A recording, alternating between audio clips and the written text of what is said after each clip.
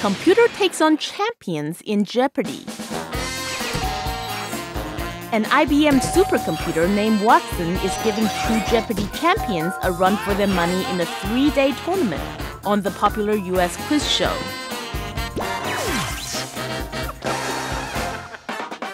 This isn't the first time man has met machine in a match of wits.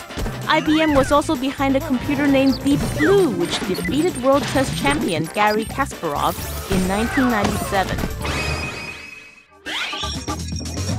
But Watson can recognize human speech patterns and hold 15 trillion bytes of information, making it a much graver threat to human competitors than its predecessor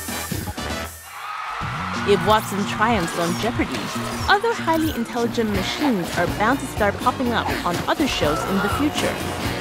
Will the human brain one day be obsolete? 想成为我们的动画人物吗？相关资讯请上脸书。Get animated, find out more on Facebook.